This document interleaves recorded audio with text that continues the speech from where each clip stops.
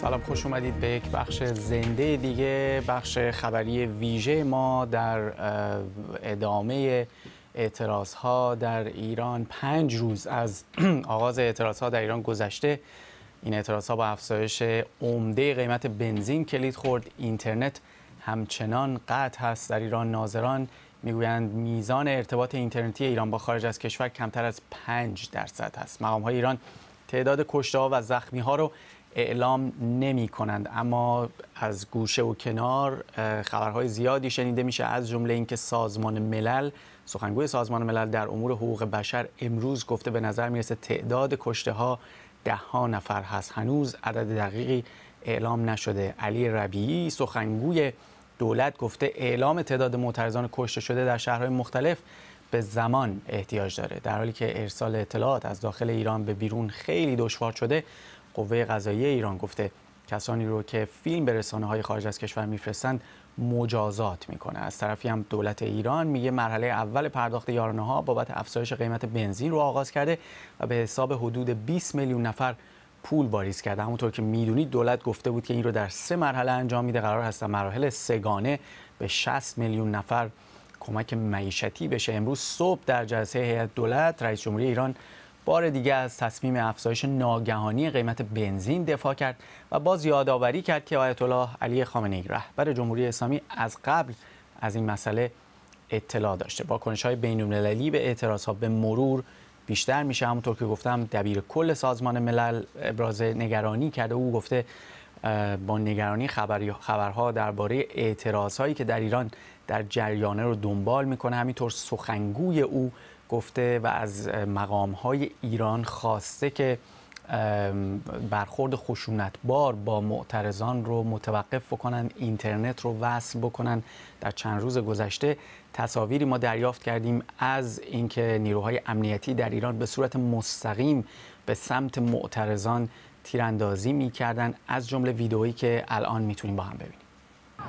نگاه کنید مامورا تو کرمانشاه دارن مردم با گلوله های جنگی می‌زنن.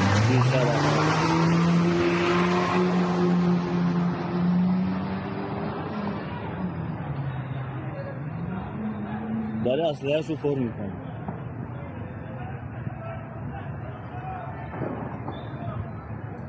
نگاه کنید سنگر گرفته می‌خواد مردم رو بزن نگاه کنید ها زد زد بیشتر می‌خواد بزنه.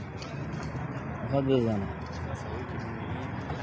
زد بیشتر کرمانشاه بلوار تاق بستان مامور سمت مردم. می‌بینید؟ اون اما اون مامور رو می‌بینید که داره تیراندازی می‌کنه. ببینید؟ با اصله پشت درخت وایستاده داره مردم رو می‌زنه با اصله این تظاهرات و این اعتراض ها دیروز بوده یا نه اما نگاه پشت درخت. قشنگ داره مردم تصاویری که می‌بینید از کرمانشاه هست تصاویری که مخاطبان ما برای ما ارسال کردن که عملا نشون میده چطور نیروهای امنیتی به صورت مستقیم به سمت معترضان تیراندازی می‌کردند. تصاویری بود که مخاطبان ما تونسته بودند علیرغم بسته بودن اینترنت در ایران برای ما بفرستن. همزمان باید بگم که خط تلفن ما هم باز هست به خصوص به دلیل اینکه خط خطوط اینترنت بسته بوده در چند روز گذشته. ما در در واقع حساب تلفنی رادیوی بی بی سی فارسی که کلا به دلیل وجود رسانه های مختلف از جمله تلگرام تقریبا تعطیل شده بود اما حالا باز در واقع پیام های بسیار زیادی دریافت کردیم. شمارش هست 2044 370 412 22 22 اگر می‌خواین صدای شما هم شنیده بشه می‌تونید به این پیام با این پیامگیر تماس بگیرید. ما اون رو چک می‌کنیم و سعی می‌کنیم که آخرین ها رو برای شما بیاریم و پخش بکنیم. رضا علیجانی رو داریم. الان همراهمون فعال ملی مذهبی از پاریس. آقای علیجانی واکنش های بین المللی هم کم و بیش داره آغاز میشه به خصوص که روشن شده حالا که عملا نیروهای امنیتی از مشت آهنین استفاده کردند برای برخورد با معترضان. نظر شما چه است؟ با سلام و تسلیت به خانواده داغدار و آسیب دیده. واقعا تاسف بار انقلابی که می‌خواست تسلای خاطر مستضعفین باشه سلاح به روی مستضعفین گرفته. بله این دفعه شاید برخلاف جنبش سب که یک نوع وحدت و همگرایی در بین نیروهای سیاسی خارج از کشور بود یا به هر حال پس از مدتها یک هیجان اجتماعی ایجاد شده بود یک خیزش اجتماعی ایجاد شده بود. خبرگزاری ها حالا در یه مقطع زمانی متفاوتی هم بود. زوم کردن روی ایران و به ویژه خون ندا سهراب تونست انکاس جهانی پیدا بکنه. این دفعه با تاخیر این وجدان داره بیدار میشه. قدرتمندان هم به مسائل خودشون مشغولن. آمریکایی ها هم مشغول جدال های انتخاباتی هستند. ولی افکار عمومی و خون به اصطلاح بیگناهان ریخته شده در ایران داره این سکوت رو میشکنه. من بذاری یادآوری بکنم از سخنان آقای سردار قاسمی در عواست و در میانه جنبش سبز که می‌گفت از اون روزی به ترسی که بچه های خیابان پیروزی و پایین شهر و کفش ملی پوشا و دمپایی پوشا بخوان مقابل ولایت ایستن و امروز اون روز فرا رسیده و این برای حکومت یک هشدار از طرفی هم مقایسه این به صلاح خیزش ها و جنبش ها و روندی که طی کرده نشانگر این هست که شکاف بین مردم و حکومت افزایش پیدا کرده. شهرهای بزرگتر هم برخلاف اعتراضات دی ماه 96 در آبان ماه 98 بخش مهمی از این شهرها وارد اعتراض شدند.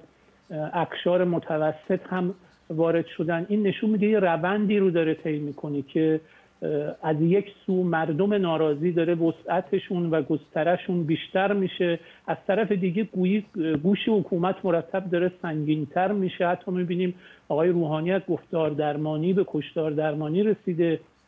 این روند اگه ادامه پیدا بکنه من فقط توصیفی دارم میگم. نه تجویزی. به یاد اون سخن مهندس بازرگان که در دادگاه اون جمله معروف رو خطاب به شاه گفت این روند اگر ادامه پیدا کنه مردم به این نتیجه می‌رسن یا بخشی از جوانه هایی که به هر حال حقخواه هستن و داره کرامتشون زیر پا گذاشته میشه صداشون نادیده میشه اونها ممکنه کارهای خشونتبارتری هم بکنن. البته در رابطه با خشونت بفرم آقای علیجانی ببخشید صحبتتون رو قطع کردم.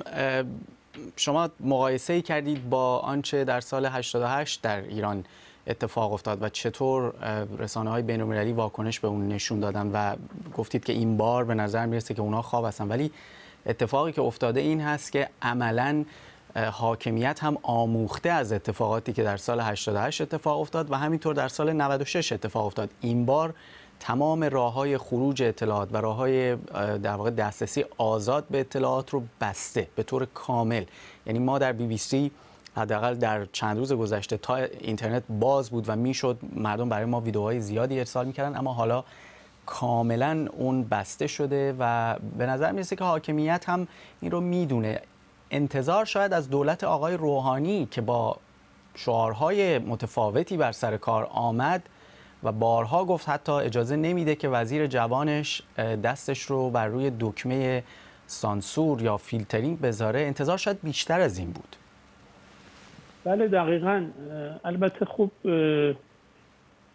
در اون دوران هم هم جمهوری اسلامی آموخته و راه ها رو بسته ولی این تمامی ماجرا رو توضیح نمیده. در همین سه روز اخیر به هر حال به حد کافی فیلم و خبر بیرون آمد. من شاید در حاشیه به یک امر هم اشاره بکنم و اون اختلاف و تشتت درون نیروهای سیاسی خارج از کشور هست و از طرفی متاسفانه استفاده از اخبار نادرست و اقراق‌آمیز و استفاده از برخی از فیلم ها یا خبرهای تاریخ گذشته که به حال در طول این سالها در فضای مجازی زیاد شده و این یه مقدار اعتماد رو اعتماد افکار عمومی جهانی رو به خبرهایی که اپوزیسیون ایرانی میده کاهش پیدا کرده کاهش داده. البته این عامل اصلی نیست. یکی از عواملی است که به حال این مسئولیت رسانه ها و اهالی رسانه رو به اصطلاح بیشتر می‌کنه که اخبار رو دقیقتر منتشر بکنن. با موجهایی که مقاصد سیاسیشون رو دنبال می‌کنن و اخبار نادرست میدن همراه نشن و این اعتماد فضای بین الملل رو به حال اپوزیسیون ایرانی تقویت خواهد کرد به عنوان یک عامل فرعی البته.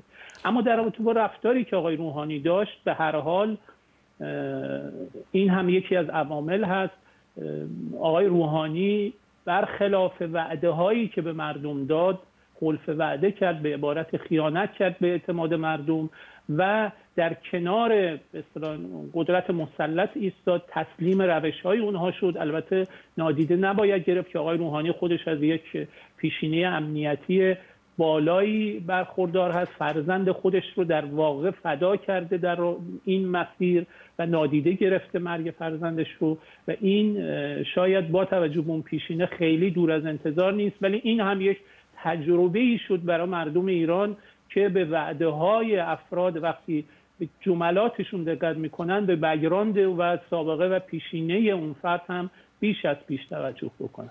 آقای علیجانی با ما بمونید. من فقط این توضیح رو بدم که ما در بی بی سی فارسی زمانی که ویدیوها رو دریافت می‌کنیم راستی آزمایی کاملی از اونها انجام میدیم. پیش از این که بخوایم اونها رو منتشر بکنیم بارها پیش آمده که تلاشای انجام میشه جهت اینکه ما رو هم به دام بیاندازند. ویدیوهای قدیمی یا ویدیوهایی که جعلی است برای ایران نیست اما همکاران من در بخش‌های مختلف تلاششون اینه که اون ویدیوهایی رو منتشر بکنن از افرادی که اعتماد کامل دارن و راستی آزمایی کاملی در مورد انجام میشه. اجازه بدید بریم هادی یکی از ساکنین شهر تهران به ما پیوسته که یه مقداری از حال و هوای امروز پایتخت به ما بگه. سلام. سلام بر شما آقای هادی. به ما بگید که چه میگذره. امروز در تهران چه می‌بینی؟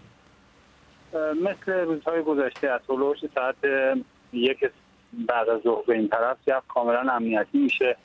تو محدوده های مثل مسجد خیابان انقلاب و همه میادین پر نیروهای امنیتی هست که خیلی هم مانور میدن. یعنی میان توی اون خطوط دیارتی اینا سر ایجاد می‌کنن اینها که رو وحشت ایجاد کنن پریشب هم دانشگاه تهران خیلی شروع بود. دانشجو اومده بودن شعارهای خیلی تند علیه خامنه ای می‌دادن و نیروهای امنیتی هم این طرف دانشگاه این طرف خیابون روبروی خیابون انقلاب مردم رو می‌زدن. یعنی هر کسی میستاد می‌زدن. اصلا کاری نداشتن. رهگذر یا کسی هست. با باتوم حمله بر می‌شدن گاز اشکاور و فلفل و اینها خندان جای مختلف همینطور شلوغی هست ولی جو امنیتیش خیلی شدیده. یعنی هیچ میدان و هیچ کارهایی رو خصوصا مسیرهای خیابون‌های مثل میگم خیابون انقلاب و اینها یا مردین اصلی پیدا نمی‌کنید که مملو از نیروهای امنیتی نباشه.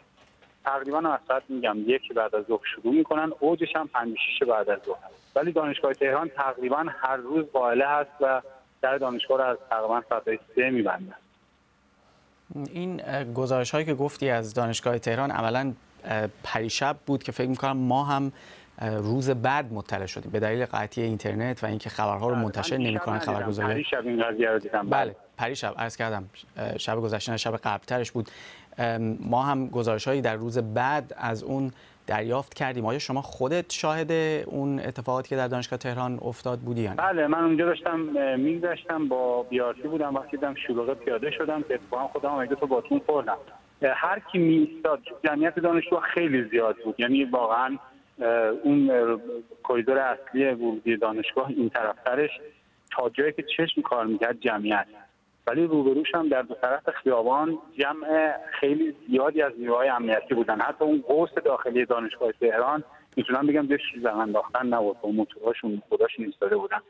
نیروهای امنیتیشون هم میومدن تو خطوط بیارتی. حتی خطوط بیارتی رو چند تقریبا فکر یک دو ساعت من ندیدم رد چه دیگه بسته بودم. میومدن با بوق و با سرصدا و با باتون کشیدن رو این نرده ها و اینا. سرصدا ایجاد می‌کردن که احتمالا صدای دانشجوها به این مردمی که این ور جمع می شدن به محض اینکه جمعیت ده 15 نفر جمع می شد حمله ور می شدن و می زدن مردم هم می ریختن تو کتابخونه ها تو کتاب فروشی ها و اون پاساژ ها و اینها. با شوکر با با توم گاز اشکاور و گاز فلفل هم که اصلا فضا رو پر کرده بود. اینا فکر کنم اصلا می‌زنن به خاطر اینکه اصلا کسی توقف نکنه. دو سه تا سطح زباله هم که اونجا بود رو داخلش رو ظاهرا خود مردم آتیش زده بودن برای ایجاد دود که اون فضا رو یه از بین ببره. ولی جمعیت خیلی بالا بود.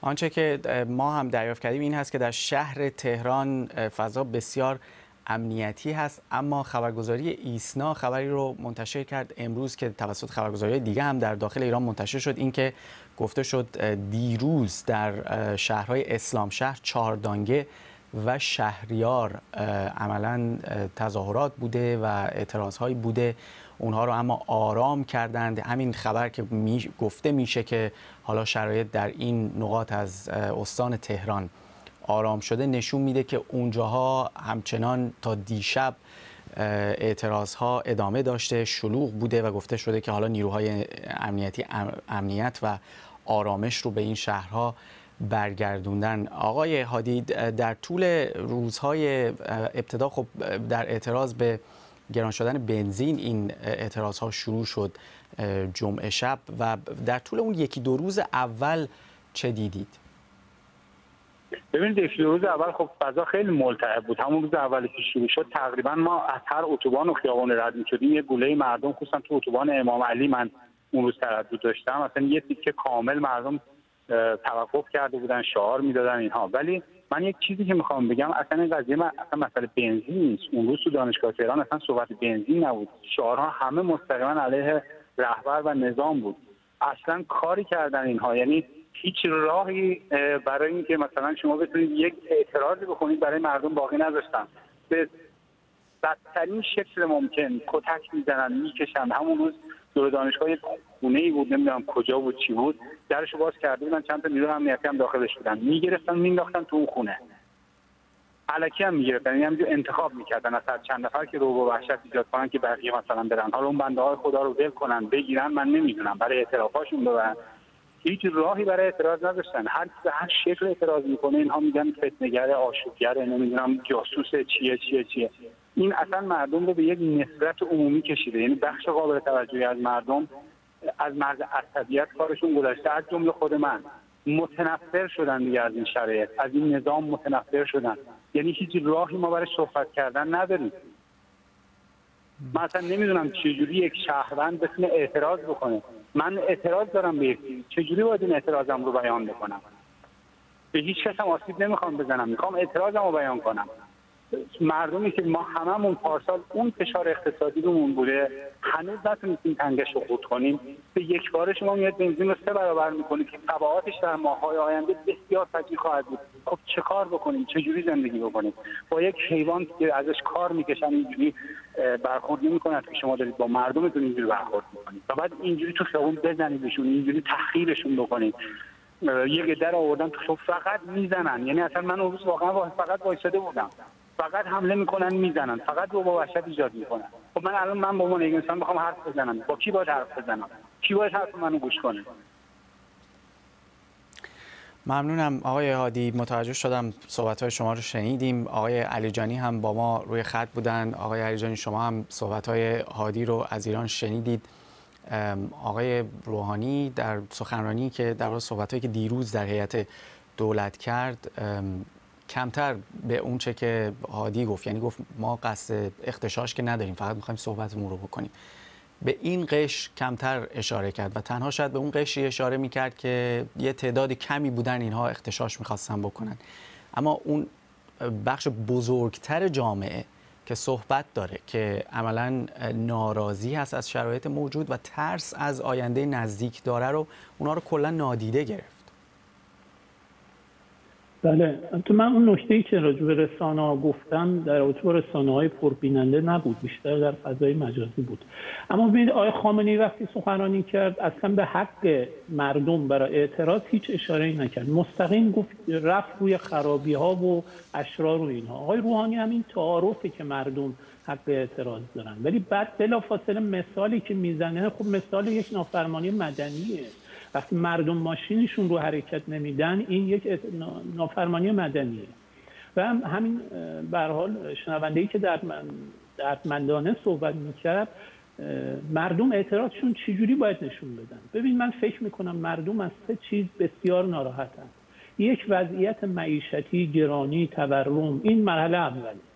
مرحله دوم فساد و تبعیضه یعنی وقتی که درآمد کشور کم هست اما از فساد و تبعیض و راندخاری طبقات حاکمه و هیئت حاکمه و اخشار نزدیک به حکومت کم نمیشه. مردم این تبعیض رو می‌بینند و در مرحله سوم اینکه صداشون شنیده نمیشه. یعنی مردم نمی‌تونن اعتراض کنن. یا وقتی که میان یه بخش قابل توجهی از مردم در انتخابات شرکت می‌کنن کسی رو رئیس جمهور می‌کنن ادعی رو به شورای شهر میفرستن به مجلس میفرستن. حالا خود نماینده مجلس میگه ما هیچ کاری بنابراین اعتراض مردم به ترتیب این مسائل هست. اینجا فشارهای اقتصادی. اگر سیاست حکومت به گونه ای بود که بله این فشارهای اقتصادی رو ما هست ولی ما همه این مشکلات رو به سویه بین خودمون تقسیم می‌کنیم. اینجا شاید یه مدار قابل تحمل تر بود. ناگفته نماند حکومتی که با مردمش همدلی داشته باشه و بخواد فشارها رو با مردمش تقسیم بکنه و خودش رو هم سهیم بدونه به حرف دل مردمش هم توجه می‌کنه به صدا و رأی مردم هم توجه می‌کنه و از جمله سیاست خارجیش رو با زور و گلدوری و پا گذاشتن رو رأی مردم پیش نمی‌بره. الان سیاست خارجی که آقای خامنه ای پیش می‌بره سیاستی است که حتی جریان محافظه کار و اصولگرا هم اکثرشون قبول ندارن. بنابراین آقای خامنه‌ای داره استبداد رأی نشون میده. وگرنه تحریم خارجی و فشار خارجی قطعا موثره. ولی اگر فساد و تبعیض نبود شاید این انفجار هم اتفاق نمیافتاد. اما مجموعه این هاست که مردم رو روز به روز ناامیدتر داره می‌کنه. و این روند حالا این روند شاید الان زور و قدرت مردم معترض به حکومت نرسه. ولی در یک گام بعدی این ببینید شهرهای بزرگتر آمدن اقشار وسیعتری آمدن. و حرفی که سردار قاسمی گفته بود که به ترسیم از اون روزی که این بخش از مردم بیان این بخش از مردم آمدن. قاسمی می‌گفت که بعد بذاریم از این کشور بریم. ظاهرا آقایون تصمیمشون این هست که به جای اینکه خودشون برن مردم رو بکشن. یعنی با کشتار حکومت بکنن. ولی این جمله حکیمانه واقعا هست که به سرنیزه می‌توان تکیه کرد. ولی برای سرنیزه نمی‌توان نشست. این به هر حال این روند و سنت حاکم بر تاریخ بوده اراده خدایی بوده قوانین و تجارب تاریخی.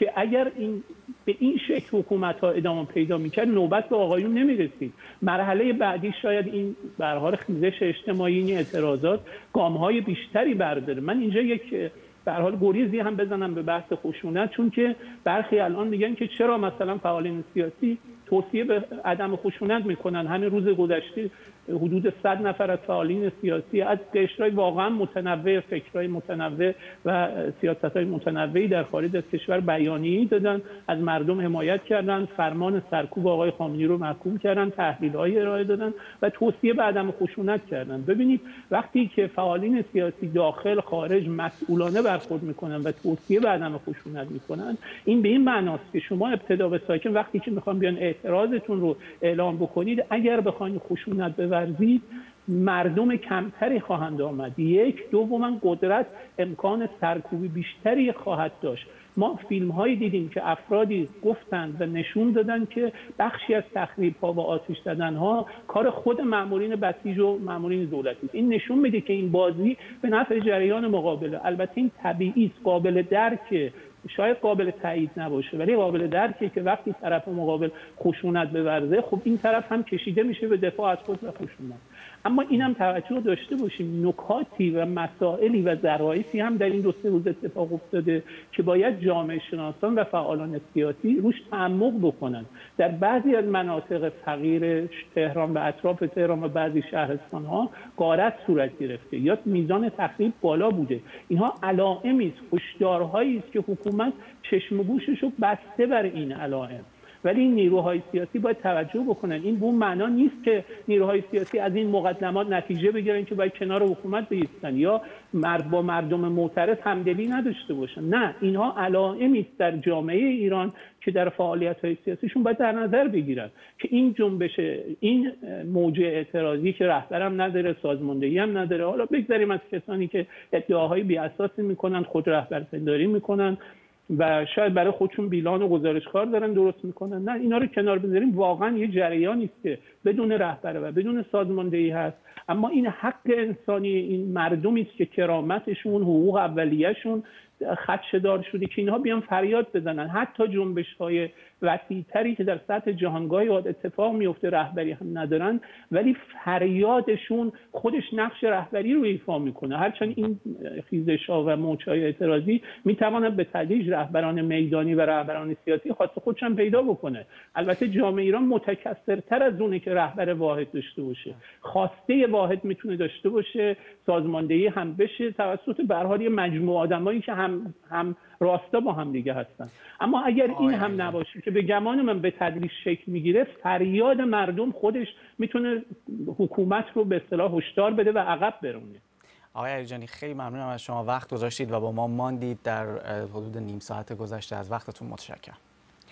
اما می‌دونید که می‌تونید اگر به اینترنت دسترسی دارید قطعا سر بزنید به وبسایت ما. ما در وبسایتمون صفحات ویژه ای رو ایجاد کردیم و می‌تونید آخرین خبرها رو در صفحه وبسایت ما پیدا بکنید لحظه به لحظه با اعتراضات در ایران که اونجا ما آخرین خبرها رو که دریافت می‌کنیم در واقع پست می‌کنیم اونجا می‌ذاریم. آلبوم های عکس زیادی هست که عملا اونجا می‌تونید مشاهده بکنید. آخرین ویدیوها رو اونجا می‌تونید ببینید. و همینطور می‌تونید اگر دسترسی به تلفن دارید می‌تونید به ما با ما تماس بگیرید. عرض کردم که شماره تلفن در واقع رادیوی ما هست 2044 370 412 22 22 این شماره رو پایین این برنامه هم می‌تونید ببینید. پیام صوتی برای ما بذارید. ما اونها رو در طول روز گوش می‌کنیم جدا می‌کنیم و به در واقع پخش خواهیم کرد در اولین لحظاتی که بتونیم این کار رو انجام بدیم.